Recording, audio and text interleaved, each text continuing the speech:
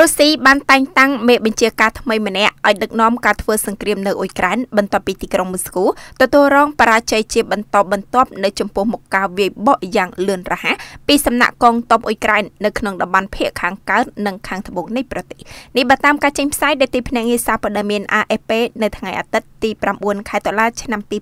2022ការប្រកាសតែងតាំងមេបញ្ជាការថ្មីខាងលើធ្វើឡើងដោយក្រសួងការពារជាតិរុស្ស៊ីកាលពីថ្ងៃសៅរ៍ចុងសប្តាហ៍នេះក្រសួងបានបញ្ជាក់ទៀតថាលោកឧត្តមសេនីយ៍ Sergei Surovikin ត្រូវបានតែងតាំងជាមេបញ្ជាការដឹកនាំប្រតិបត្តិការយោធាពិសេសនៅអ៊ុយក្រែនដែលលោកខាងលិចហៅថាគឺជាសង្គ្រាមឈ្លានពានលោក Surovikin គឺមានអាយុ55ឆ្នាំកើតនៅក្នុងតំបន់ Novosibirsk នៃតំបន់ស៊ីបេរីដែលលោកផ្ទាល់បានដឹកនាំកងកម្លាំងទ័ពអាកាសស៊ីរីនិងអវកាសរុស្ស៊ីចាប់តាំងពីឆ្នាំ2017មកលោក Surovikin បានចូលរួមនៅក្នុងសមរភូមិសង្គ្រាមកំឡុងទសវត្សរ៍ឆ្នាំ1990នៅក្នុងប្រទេសតាស៊ីគីស្ថាននិងតំបន់ឆេឆេនីព្រមទាំងនៅប្រទេសសេរីផងដែរ